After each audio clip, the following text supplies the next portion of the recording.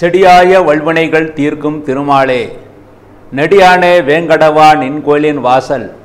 அடியாரும் வானவரும் அறம்பயிரும் கிடந்தியங்கும். படியாய் கிடந்து நின் பவளவாய் காண்பேனே.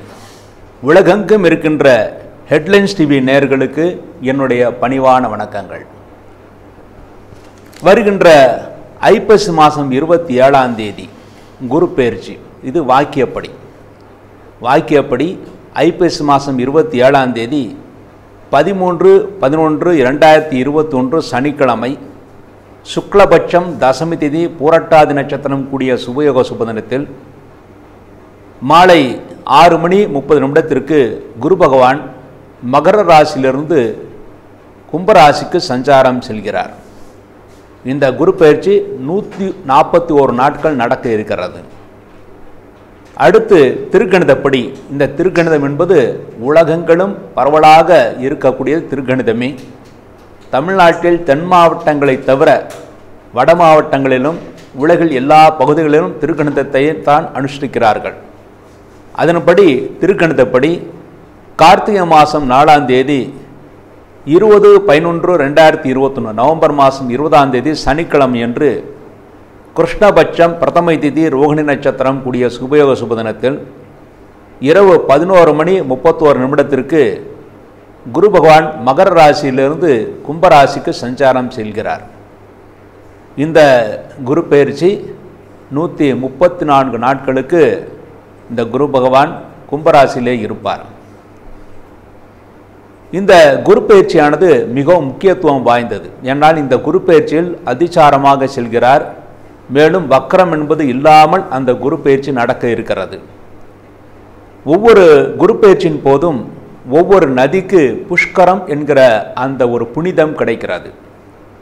புஷ்கரம் என்பது பிரம்மதேவனுடைய கமண்டத்தில் இருக்கின்ற நீர் தான் புஷ்கர நீர் என்று கூறுவார்கள். அந்த புஷ்கர நீர் குரு பகவான் ஒவ்வொரு ராசிக்கு சஞ்சாரம் செல்லும் போதும் ஒவ்வொரு நதிக்கு அந்த புஷ்கர நீர் கிடைத்து அந்த நதிநீர் முழுவதுமாக புஷ்கர நீராக மாறுகிறது. தற்பொழுது நடக்கின்ற அந்த குரு பயிற்சியின் மூலமாக பீமா நதிக்கு இந்த புஷ்கரம் கிடைக்கிறது. அந்த பீமா நதி எங்கே இருக்கிறது என்றால் மகாராஷ்டிராவிலே பூனா என்கிற அந்த ஊருக்குள்ளே அம்பேகான் என்று சொல்லக்கூடிய அந்த தாலுக்காவிலே இந்த நதி பீமா நதி உற்பத்தி ஆகிறது அங்கே உற்பத்தியாகி எட்நூற்றி அறுபத்தோரு கிலோமீட்டரை நன்றாக வளம் செய்து மகாராஷ்டிரா கர்நாடகா தெலுங்கானா ஆகிய பிரதேசங்களில் பாய்ந்து ஹைதராபாத்திற்கு அடுத்து இருக்கின்ற அந்த கிருஷ்ணா நதியினோடு அந்த பீமா நதி கலக்கிறது. இந்த பீமா நதிக்கு இந்த வருடம் புஷ்கரம் என்கிற அந்த புனிதம் கிடைக்கிறது. இந்த பீமா நதி என்பது நேரடியாக கடலிலே கலப்பது கிடையாது. ஆனால் கிருஷ்ணா நதி நீர் மூலமாக கிருஷ்ணா நதியுடன் சேர்ந்து அது கடலில் கலக்கிறது. இந்த பீமா நதிக்கு இந்த புஷ்கரம் கிடைப்பதனால் திருக்கணிதப்படி நடக்கின்ற அந்த குரு பயிற்சிக்கு பிறகு பன்னிரண்டு நாட்கள் அந்த நதிக்கரைகளுக்கு சென்று அங்கே நதிக்கு பூஜைகள் செய்து ஸ்நானம் தானம் தர்ப்பணம் ஆகியவற்றை செய்ய வேண்டும். அவ்வாறு செய்தால் நம்முடைய வாழ்க்கை புனிதமாகும் என்று ஜோதிட சாஸ்திரமும் வேத சாஸ்திரமும் கூறுகிறது. மேலும் அந்த புனித நீரில் குளித்து நாம் பூஜைகள் செய்வதன் போது நமக்கு நல்ல பலன்கள் கிடைக்கும். அதன் மூலமாக நம்முடைய வாழ்க்கை சுபிட்சமாகும் என்றும் கூறப்படுகிறது. இந்த குரு பேச்சுக்கு மாத்திரம் ஏன் அவ்வளவு முக்கியத்துவம் என்று பார்த்தால் குரு பகவான் ஞானத்திற்கு அதிகாரி. எந்த ஒரு ஜாதகத்தில் குரு பகவான் சுபகரங்களோடு சேர்ந்திருக்கிறதோ அல்லது வலுத்திருக்கிறதோ அவர்களுக்கு ஞானம் இருக்கும் நற்குணங்கள் இருக்கும் நல்ல புத்திர பாக்கியத்தை கொடுக்கக்கூடிய குரு பகவானாக இருப்பார். ஆச்சாரத்தை தன்னுடைய குல ஆச்சாரத்தை காப்பவனாக இருப்பான். புத்திசாலியாக இருப்பான் பக்திமானாக இருப்பான் பக்தியின் மூலமாக நல்ல கதியை பெறுபவனாக இருப்பான். எந்த காரியத்தை செய்வதாக இருந்தாலும் சிரத்தையோடு செய்பவனாக இருப்பான். அதே போலவே எப்படி ஆண்களுக்கு சுக்கிரன் என்பது களத்திர காரகனோ அதே போலவே பெண்களுக்கு குருதான் புருஷ காரகன் அதாவது கணவனுக்கு காரகன் என்று ஜோதிட சாஸ்திரம் கூறுகிறது. ஆக குரு பகவான் இவ்வளவு அதிகாரங்களை பெற்றவராக இருப்பதனாலும் தனத்துக்கு அதிகாரியாக இருப்பதனாலும் தொழிலுக்கெல்லாம் அதிகாரியாக இருப்பதனாலும் குரு பகவான் மிகவும் முக்கியமானவராக போற்றப்படுகிறார். இந்த குரு பயிற்சி இந்த வருடம் ஒரு சிறப்பான ஒரு குரு பயிற்சியாகவே இருக்கிறது. இந்த குரு பயிற்சியின் மூலமாக நம்முடைய வாழ்க்கையில் சிறப்பை நாம் எட்ட முடியும். கொரோனா போன்ற கொடுநோய்கள் இனிமேல் இருக்காது என்று நிச்சயமாக நம்பலாம். ஏனென்றால் பொதுவாக குரு ஒரு வருடத்தில் மூன்று ராசியில் சஞ்சாரம் செய்யும் போது கொடுநோய்கள் ஏற்படும் என்று காலவிதானம் என்ற நூல் கூறுகிறது. அதன்படி சென்ற வருடமும் இந்த வருடம் இருந்தது. இந்த குரு பகவான் இத்தனை நாள் சனியோடு பிடிக்கப்பட்டிருந்தால் இப்போது சனியை விட்டு விலகி வேகமாக வெளியே செல்கிறார். ஆகவே இனிமேல் கொரோனா போன்ற கொடிய நோய்கள் சமீபத்தில் வராது என்று நிச்சயமாக நாம் நம்பலாம். இந்த குரு பேச்சு என்பது கும்பராசிலே மூன்று நட்சத்திரங்களை கடக்கிறது. அவிட்டம் சதயம் பூரட்டாதி. இந்த மூன்று நட்சத்திரங்களை கடக்கிறது.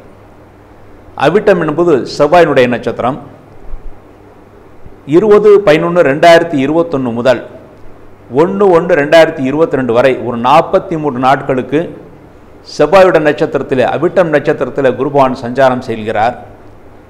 அதன் பிறகு ரெண்டு ஒன்று ரெண்டாயிரத்தி இருபத்தி ரெண்டு முதல் இருபத்தெட்டு ரெண்டு ரெண்டாயிரத்தி இருபத்தி ரெண்டு வரை ஐம்பத்தெட்டு நாட்களுக்கு குரு பகவான் ராகு பகவானுடைய சதயம் நட்சத்திரத்தில் சஞ்சாரம் செய்கிறார்.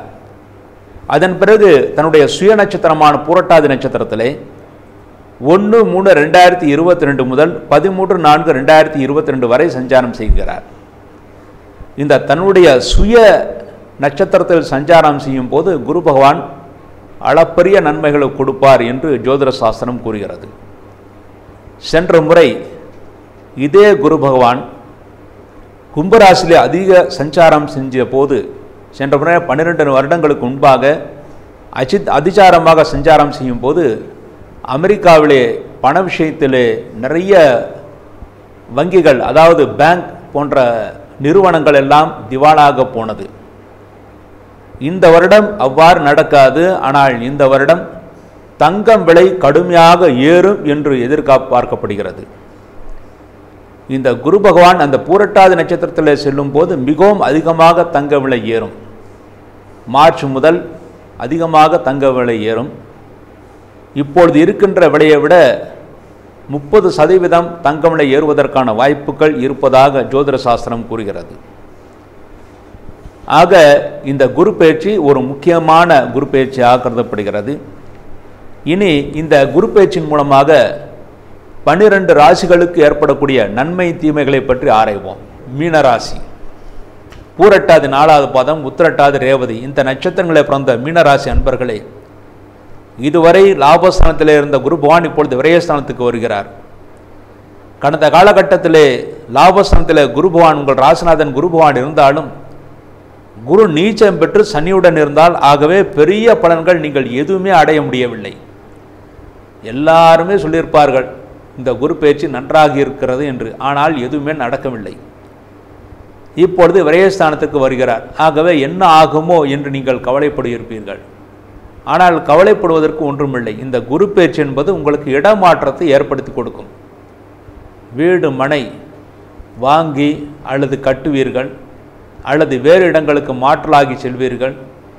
தொழில் செய்பவர்கள் வேறு இடங்களுக்கு தொழில் செய்யக்கூடிய சூழ்நிலைகள் உருவாகும். அல்லது தொழில்துறையில் அலைச்சல்கள் ஏற்படுத்தி கொடுக்கும். உத்தியோகஸ்தர்கள் பதவி உயர்வு காரணமாக தொழில் செய்யும் இடங்களை வசிப்பிடங்களை எல்லாம் மாற்றிக்கொள்வீர்கள். அதன் மூலமாக நன்மைகளை அடைவீர்கள். ஆக கடந்த காலத்தில் இருந்த மனக்குழப்பங்கள் இப்பொழுது ஓரளவு குறையும். ஆரோக்கியத்தில் இருந்த குறைபாடுகளும் இந்த குரு பயிற்சியின் மூலமாக ஓரளவு குறையும் என்று எதிர்பார்க்கலாம். அடுத்து மீன லக்னத்திலே பிறந்தவர்களுக்கு இந்த குரு பகவான் நான்காம் இடத்திற்கு குருடைய பார்வை விழுகிறது. ஆகவே இதுவரை விரோதம் பாராட்டி வந்த நண்பர்களும் உறவினர்களும் இப்பொழுது அனுசரணையாக இருப்பார்கள். பழைய பாக்கிகள் வசூலாவதற்கான வாய்ப்புகள் நிறைய இருக்கிறது. நண்பர்கள் மூலமாக நல்ல உதவிகள் கிடைத்து நல்ல வருமானம் கிடைக்கப் பெறுவீர்கள். மீன லக்கணத்திற்கு குரு பகவான் ஆறாம் இடத்தை பார்வையிடுகிறார். அதன் மூலமாக ஆரோக்கியத்தில் இருந்த குறைபாடுகள் நீங்கள் நன்மைகளை பெறுவீர்கள். ஆரோக்கியத்தில் பிரச்சனைகளிலிருந்து மருந்து கிடைக்காமல் இருந்தது. இப்பொழுது நல்ல மருத்துவம் கிடைத்து அதன் மூலமாக நல்ல ஆரோக்கியம் பெறுவீர்கள். சந்தோஷத்தை அடைவீர்கள். இந்த குரு பகவான் எட்டாம் இடத்தை பார்வையிட இருக்கிறார் ஆகவே மரண தருவாயில் இருப்பவர்கள் கூட அந்த பிரச்சனையிலிருந்து விடுபட்டு இனிமேல் நல்ல ஆரோக்கியத்தை பெற இருக்கிறீர்கள். ஆயுள் குறைபாடுகள் எல்லாம் நீங்கி நன்மைகளை பெறுவீர்கள். ஒரு சந்தோஷத்தை அடைவீர்கள். மறைந்திருந்த சொத்துக்கள் எல்லாம் நீங்கள் பெறக்கூடிய சூழ்நிலைகள் உங்களை தேடி வரும்.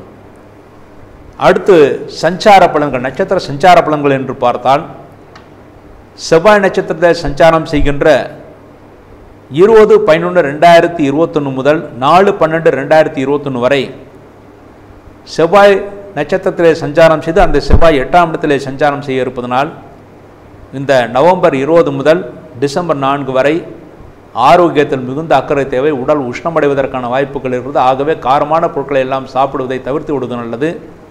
இந்த காலகட்டத்திலே அக்ரிமெண்ட் போன்ற விஷயங்கள் எல்லாம் போடாமல் அதாவது நிலம் வாங்குவதற்கு விற்பதற்காக அக்ரிமெண்ட் போன்ற விஷயங்கள் எல்லாம் செய்யாமல் இருப்பது நல்லது. அடுத்து நாலு பன்னெண்டு ரெண்டாயிரத்தி இருபத்தொன்னுக்கு பிறகு ஒன்று ஒன்று ரெண்டாயிரத்தி இருபத்தி ரெண்டு வரை உள்ள காலகட்டத்திலே செவ்வாய் உங்கள் ராசிக்கு ஆட்சி வீடான ஒன்பதாம் இடத்துக்கு வந்து அந்த நட்சத்திரத்தில் குருபான் சஞ்சாரம் செய்வதனால் தந்தை மூலமாக நல்ல வாய்ப்பையும் சந்தோஷத்தையும் அடைவீர்கள். தந்தை மூலமாக தன வரவை பெறுவீர்கள். சகோதரர்கள் மூலமாக சந்தோஷத்தை அடைவீர்கள். பூர்வ புண்ணிய சொத்துக்கள் இருந்த வில்லங்கங்கள் ஓரளவு திருந்த நன்மைகளை பெறுவீர்கள். புதிதாக வீடு மனை வாங்குவதற்கும் கிரகப்பிரவேசம் செய்வதற்கும் புதிதாக வாகனங்கள் வாங்குவதற்கும் நல்ல யோகமான காலமாக அந்த காலகட்டம் இருக்கிறது.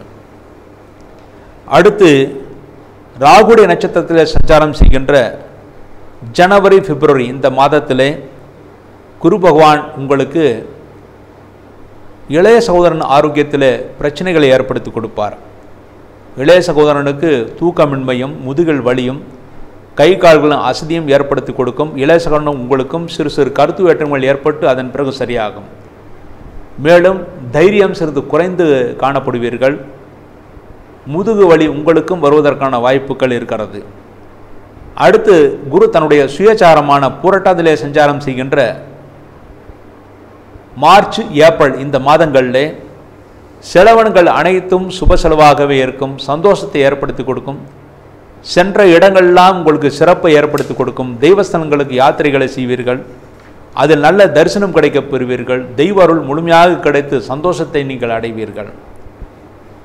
இந்த குரு பேச்சின் மூலமாக ஏற்படக்கூடிய இன்னல்களையும் அடுத்து ராகுனால் ஏற்படக்கூடிய இன்னல்களையும் தீர்வதற்காக பரிகாரம் என்று பார்த்தால் இந்த குரு பயிற்சிக்காக குலதெய்வ வழிபாடு அவசியம் வியாழக்கிழமை அல்லது வெள்ளிக்கிழமை செய்வது மிகவும் சிறப்பானது. இந்த ராசியிலே பிறந்தவர்கள் தொழில்துறையை வெற்றி பெறுவதற்காக ஒரு முறை திருச்செந்தூர் சென்று விட்டு அங்கே இருக்கின்ற உற்சவரை தி ஜெயந்திநாதரை வணங்கிவிட்டு வர வேண்டும். திருமணம் நடைபெறாமல் இருந்தால் திருமண காய்கரியம் நடைபெறுவதற்காக தஞ்சைக்கு அருகில் இருக்கின்ற திட்டை என்ற ஊரில் இருக்கின்ற குரு பகவானை வழிபாடு செய்து விட்டு வர வேண்டும். ஞானத்தை பெறுவதற்காக ஆலங்குடி சென்று விட்டு வரலாம். குழந்தைகளுக்கு நன்மை பெறுவதற்காக குருவாயூர் சென்று விட்டு வரலாம். இந்த நான்கு சேத்திரங்கள் அவசியம். ஒரு சேத்திரமாவது உங்களுக்கு தேவைக்கேற்ப சென்று விட்டு வாருங்கள் நன்மைகளை பெறுவீர்கள். மற்றபடி இந்த குரு பயிற்சி செலவனங்களை தருவதாக இருந்தாலும் அந்த செலவனங்கள் அனைத்தும் சுப செலவாகவே இருக்கும்.